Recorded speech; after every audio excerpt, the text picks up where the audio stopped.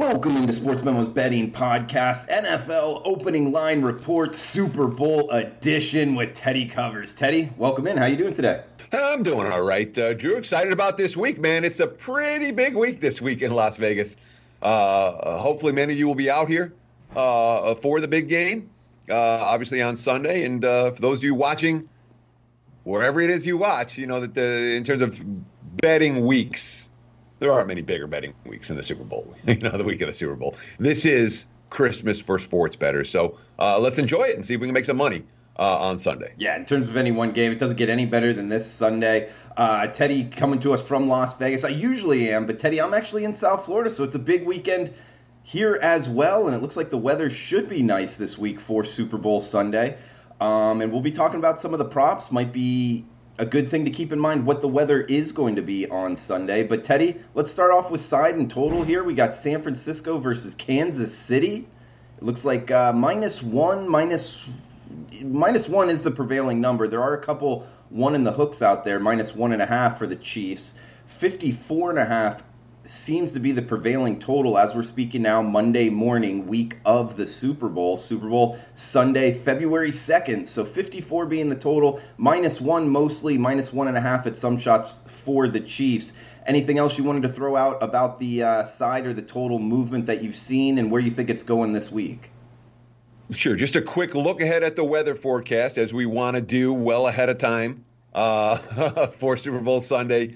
Uh, expected to be sunny, temperatures around 70 degrees. So it's supposed to be a beautiful day for football. It's also, it's also supposed to be beautiful in Vegas uh, for the Super Bowl this week. So whatever that's worth. Uh, but it is supposed to rain the night before. There's always a chance in South Florida of dealing with rains or passing showers and the like. Uh, so it's definitely worth noting there. But uh, rest assured, we'll be monitoring the weather report very closely throughout the course uh, of the week, especially obviously in an outdoor venue uh, this time around. When it comes to side and total, there's a couple of things to talk about here. Uh, one in conversations with a handful of sportsbook directors around town. There is de- a developing dichotomy here where the recreational bettors are looking at the higher scoring offense and the professional bettors are looking at the uh, elite defense. Uh, there is a sharp square divide in this game right now. It's not every sharp bet is on this side and every square bet is on that side, but the majority of the tickets are on Kansas City. The bigger bets that have come in are coming in on San Francisco, and that's not unusual. Uh, to see the public being in love with a higher flying offense and the wise guys being in love uh, with the superior defense.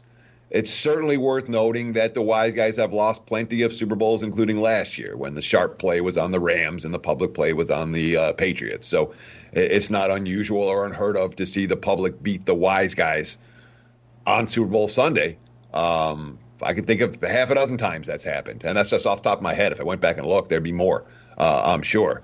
But the pros versus Joe's angle on this is uh, the, the pros are looking at the San Fran uh, and the Joes are looking at Kansas City. And the books, if you look around from sports book to sports book, the books that cater to recreational players are, uh, you know, they're still sitting at one and a half. I'm even seeing twos out there uh, on KC.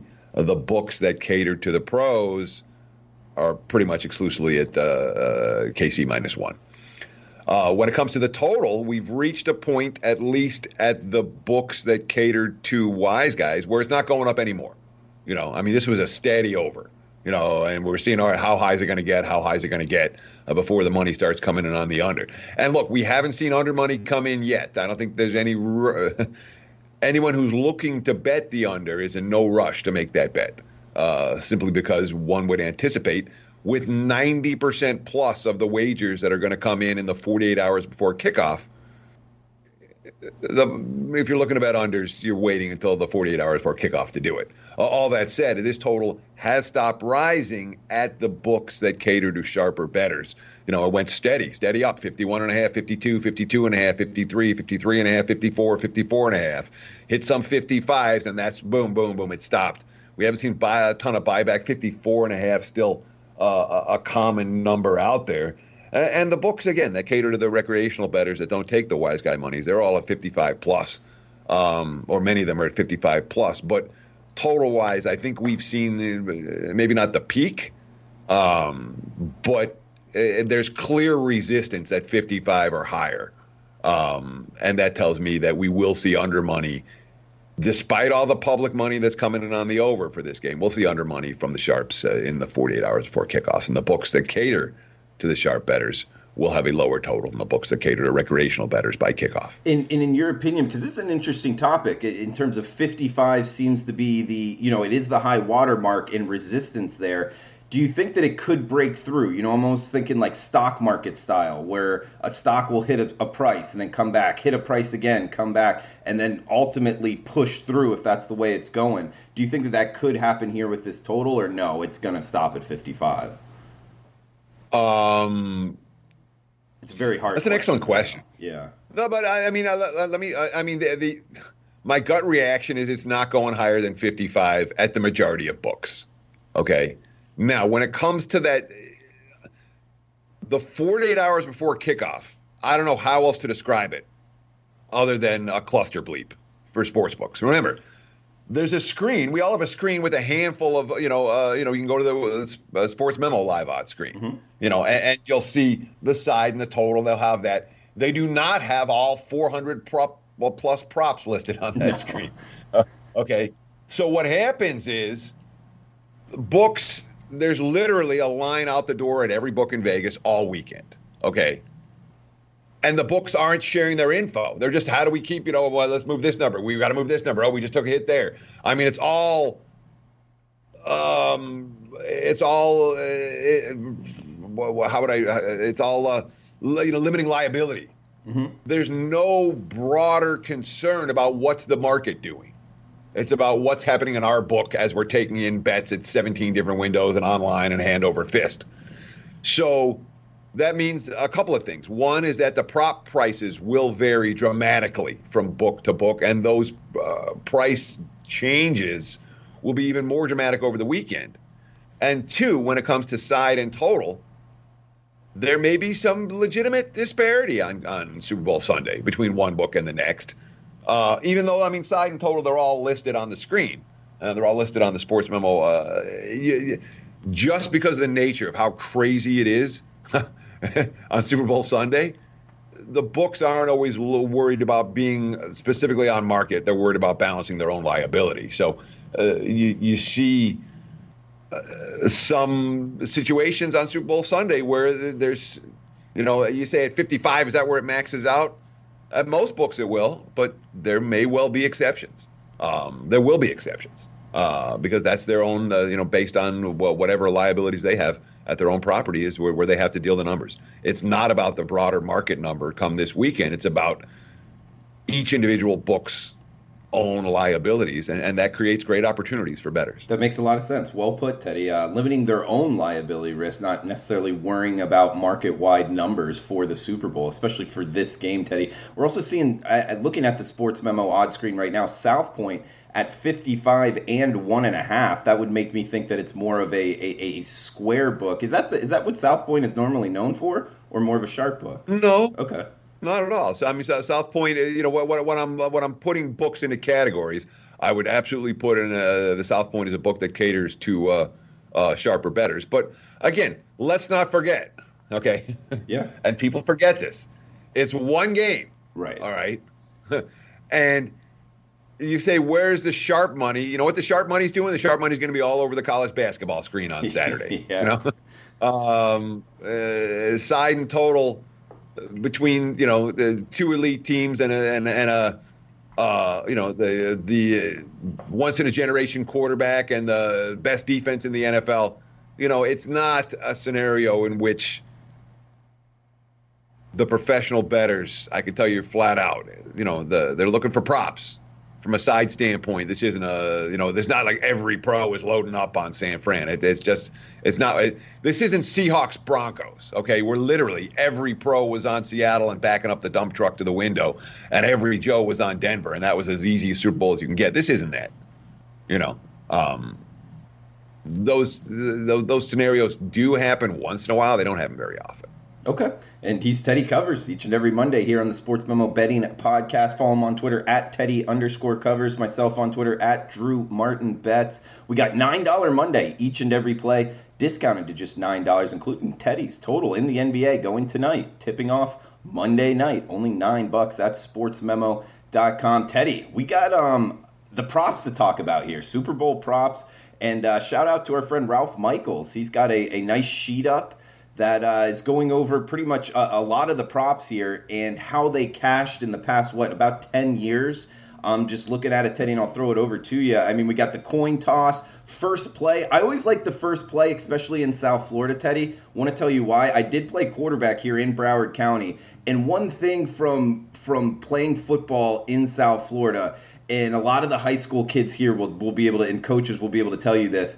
If it's raining, you always want to throw the ball on the first play of the game because it's the driest ball, and, and your hands are the driest. The wide receiver's hands are the driest. The center's hands are the driest. So in South Florida, if there's a chance for rain, I'm gonna be I, I'm gonna be on the pass just just for that. But uh, looking at the weather, it doesn't look like rain's going to be an issue. That's one here passes minus 120, rushes plus 130. A penalty, interesting enough. So this is a three-way uh, bet. A penalty is plus 160. Um, but I just wanted to throw that one out there. And one thing that I was looking at prop wise first play, we got the coin toss. Uh, Rams won last year. New England won the year before. Atlanta won the year before. Just going down the line here. Team to score first wins the game. Yes, yes. No, three years ago. And then yes, three straight after that. But Teddy, throw it over to you and things that are kind of catching your eye with this uh, prop report. Sure. And, and I want to talk about this rather than go through all the individual player props. Um, certainly, people have all kinds of bettable opinions about the player props, uh, as do I. But the more general props are the ones where I think a lot of people struggle with, and these are on every single sheet, you know, uh, and a lot of people play them. Having the history is so key. So you talk about that first play, and again, the numbers that uh, that are posted on that sheet, they're last year's numbers, so they're not necessarily accurate for this year. But the pass as the first play of the game, well, that has been five of the last seven years, including four of the last five and one of those was a safety on the bad snap to uh, Peyton Manning in the Seahawks Broncos oh, Super Bowl, which I that was a pass play too, wasn't it? I believe was it just so. a bad snap for a run, yeah. but I'm I'm almost sure it was a pass play. So really, six of the last seven years, uh, we've seen a pass in the first offensive play uh, in the Super Bowl. You talked about the team to scoring first wins the game, and that's usually priced in the minus 160 range. That's been a really good bet. Eight of the last nine times in the Super Bowl, the team that scored first ended up winning The team is scoring last winning, and that's usually also in that minus 160 range. Well, the team that scored last has won each of the last 10 Super Bowls. The first score of the game, you know, and you can find five minute lines, six minute lines, and seven minute lines for first score. You'll see a pretty big difference in the juice. uh, you know, a team scoring the first five minutes, the yes is a big dog. Team scoring the first seven minutes, the no uh, is the uh, is a dog. So uh, between five, six, and seven minutes, you'll see a dramatic disparity. That being said, last year's Super Bowl, no scoring until the second quarter. Uh, no scoring until uh, seven minutes in, in that crazy 41 33 uh, Patriots Eagles Super Bowl. So even that stayed under early. Uh, you know, if you passed the no score first six minutes, or first seven minutes, or first five minutes. There was no scoring at all in the first quarter uh, of the Falcons Patriots, another wild game that flew over the total. No scoring there until the second. Um, no scoring in uh, Seattle, New England in the first quarter. So for the last five, we've seen that uh, prop go over, no score, the first six minutes of the ball game, first seven minutes or first five minutes. Uh, the slower starts in Super Bowls have been a consistent money winners in recent years. Should I keep going? Because there's so many of these to talk about. It's really fascinating. You know, the yeah. defense are a special teams touchdown, uh, which has scored uh, you know, that's always a big dog. Six of the last 10 Super Bowls, we've seen a non offensive TD, although not in either of the last uh, two years. The two point conversion attempt we've seen three times in the last four years. And we've seen that seven of the last 10. Uh, teams trying for two. Uh, the history says yes. Um, the field goals, both teams making a field goal of at least 34 yards. That's a common prop. That's five and five the last 10 year. The yes, uh, often heavily juiced uh, in that prop, but the no has been more profitable uh, in recent seasons. Game decided by exactly three points. That's one that always stands out to me. Drew, people are like, oh yeah, I can get uh, I can get five for one with that. Not many. Yeah, well, it's happened one time in the last uh, ten years, uh, and even in these short line games, asking teams to win by exactly three, It's like betting on the will there be a six the next roll in craps, you know, you or seven, I should say, uh, in craps, uh, where you're not getting six two one, you're getting six four one. It's a bad bet. Um, and of course, the game had not been decided by exactly three in any of the last six Super Bowls. Longest TD of the game. Um, let's see. They've been. Uh, it was only two yards last year, right? Yeah, yeah, exactly. Oh, the the, the, the longest touchdown, the, the, shortest touchdown over under one and a half yards is worth talking about. Mm-hmm. Um, uh, that's gone under five times in the last seven years with one yard touchdowns. Uh, obviously, the longest touchdown, shortest touchdown of the game in this also uh, one and a half yards. The under has been the bet to make uh, in that combined field goals three and a half, uh, four overs, six unders the last 10 years. Nothing dramatic there. Um, highest scoring half, second half, has been real good, uh, uh, uh, cashing five of the last seven. Um, combined interceptions, seen over four times in the last six years. Combined lost fumbles, we've actually seen a fair few overs, um, although each of the last two years has stayed under in combined lost fumbles. So, uh, I mean, there's a ton of these. The total quarterback sacks, five last year, one the year before, 10, 12, and four the year before that. All three of them went over. Although in years past, we've looked at three and a for quarterback sacks. That's not the prevailing number this year, given the pass rush of these two squads. So, um, I can keep going. No, no, good, good stuff, Teddy. I, I have a question here. Um, I guess over or under uh, one and a half yards for for the shortest TD, and uh, it's mostly been under. I, I, believe you said. In in a big part of that handicap is the intercept or the um, pass interference in the end zone. The ball comes out to the one, right, or is it? It does it come back to the Correct. two? Uh, it comes out to the one yard line. Okay, so that would be a big part of that handicap to go under on that one. Absolutely, you're you're you're hoping. yeah, yeah, yeah, for sure. Um, and and I guess I, that that was a huge part of the prop questions there. We got um slower starts out the gate. So if you were going to take advantage, because these are you know a lot of people thinking this is uh, going to be high scoring just with the Chiefs alone, what they've been able to do and taking the over. If you were on the board of slower starts, how would you recommend attacking that? Like no score in the first five minutes? Would you be like uh, you know lowest scoring quarter, first quarter? What do you think's the the smartest bet to attack a slow start? All of those make sense. And if I'm if I'm playing the the under or, or the so first quarter to be the lowest scoring quarter makes sense. First half to be the lowest scoring half makes sense if we're expecting a slow start. Um, and it's also the no score first however many minutes.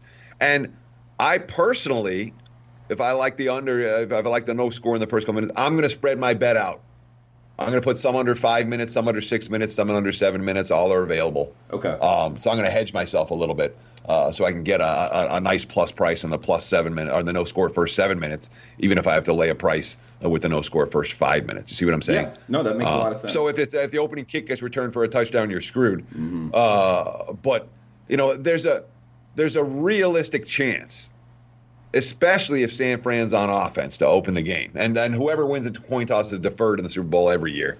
Uh, they win and defer, win and defer. Uh, I'm trying to. The last time a team took the uh, opening, that won the coin toss and took the opening kick was uh, New Orleans uh, back in Super Bowl 44. That was a full 10 years ago. And of course, uh, they took the opening kick and then went for the onside kick to open the second half. So they got the ball to open both halves there. the defer normally the case.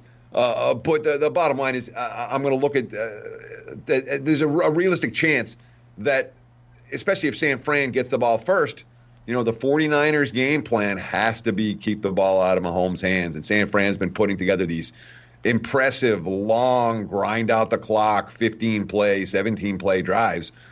So my point being is the Niners could get the opening kick march down, score, and you can still cash your no score first five minutes, no score first six minutes, no score first seven minutes props, uh, e- even if they score on their opening drive.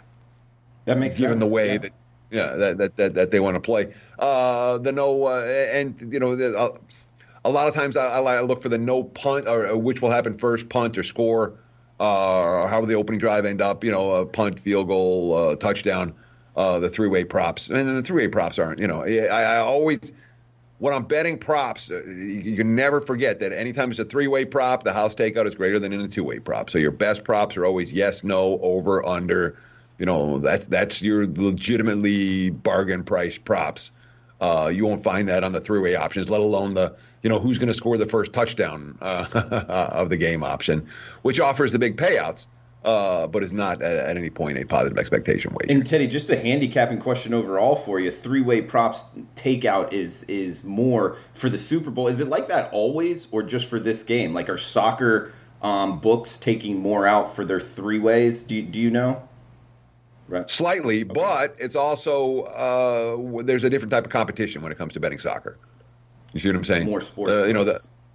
Well, yeah, I mean, soccer globally is the biggest is is the biggest sport uh, for betting. You know, not here in the states, obviously, but globally it is. Uh, so you'll find the competition tougher. So you'll find, you know, uh, you'll, you'll find books uh, that take out less on the three-way props in soccer that they would, and compared to what they're going to take out uh, the house takeout is going to be on, on, on the Super Bowl. Does that make sense? It makes total sense. And, and do you? And I know I'm asking these questions just on the spot. We haven't gone over these. Is the Super Bowl the most bet game in the world, or would that be the championship game in the World Cup, or is there something I'm not thinking of?